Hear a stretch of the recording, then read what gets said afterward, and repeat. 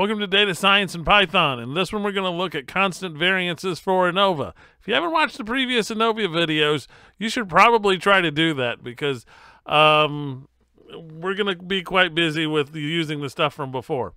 Okay, so before we're using from before we're using the fructose.csv dataset, which is linked in the repository. We're going to read that in. We're going to run an ANOVA, and then we're going to look at the residuals. So I'm going to run all of this right now. If you've been following along with the videos, you should have all of this data. This should not be a problem for you in terms of having the data. So it should be pretty easy, or the data and the code. Oh, wait, I said, it says I have invalid syntax. Oh, wait, I didn't get all the comments. Yeah, I just ran everything real quick. Uh, let's see, here we go. Um, Everything looks to be set. We've got our p-value. We noticed that there were differences across the fructose, across varieties.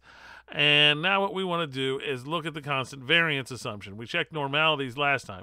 So what we're going to do is Levene's test. Uh, it's pretty easy to do, especially here, um, because it's already packaged inside of SciPy stat. Okay, all you have to do is put in the data that you have. So we're going to actually look at two ways to do this. You just put in the groups that you have. So here we have FR1 uh, fructose. And let's see here. We just exactly like, almost exactly like um, doing the box plot. And then variety equals A. And then comma, you don't need the extra parenthesis that I messed up the last time with. Uh, and then why don't you just copy and paste this? This will make your life so much easier.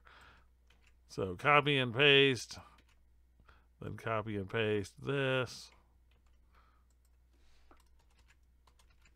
And let's see here. A, B, C, and D. This is the code. This is all we need to do. We put these uh, in here directly. We put the data in, and we're looking to see whether or not they are uh, have constant variance. Okay, so let's just run this real quick and see what pops out.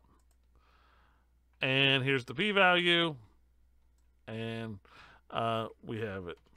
Bingo. But wait a minute. I didn't drag you through the whole hypothesis test. Shame on me.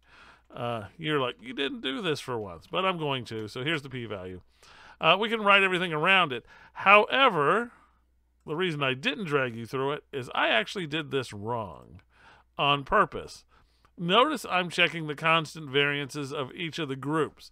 The actual assumption is on the residuals, not on the groups. Okay?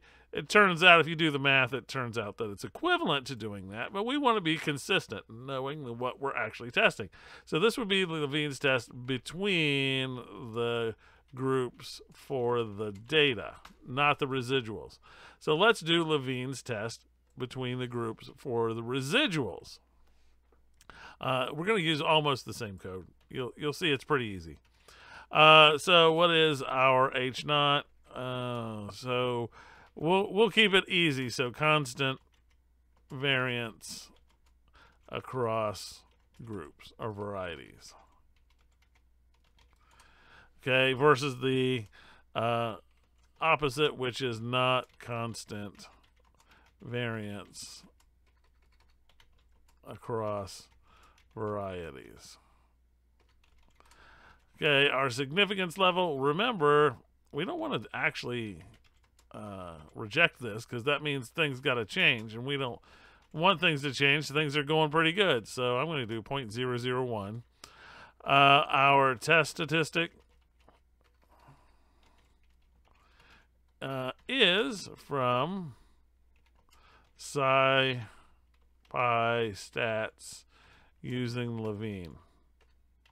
So anybody should be able to redo reproduce this. Uh, decision rule, the same as always. And the reason I go over this every time is people forget what the decision rule is. If the p-value is less than alpha, we reject H naught. And that's also why I change alpha every time. Um, I don't like 0.05. Uh, so let's see here, execute. So this is where we'd actually write in our code and uh, get a p-value. So here, here's our Levene's. but we need to just make it reflect the fact that we're not looking at fructose directly. We're looking at the residuals. Uh, FR1 LM dot resid. Okay. This will give me the residuals associated with variety A, variety B, and so on.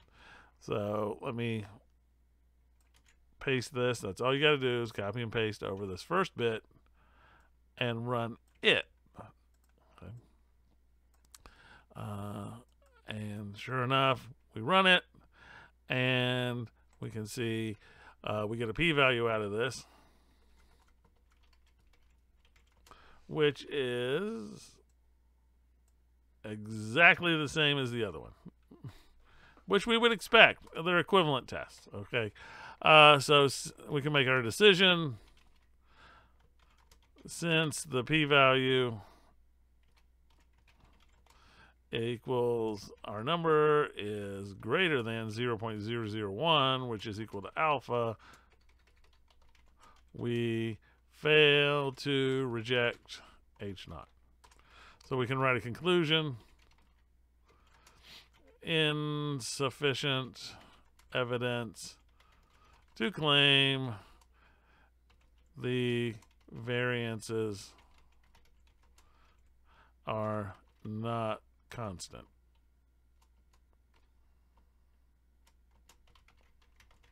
Bingo. Done. All right, so this gives us, uh, kind of rounds out the one-way ANOVA approach. Uh, we'll look at two-way ANOVA later, but right now we're just trying to get uh, done with one-way ANOVA, and get through the basic types of analyses. Uh, so here we go. We have almost everything done, and we're ready to move on to the next video, and I'll see you there.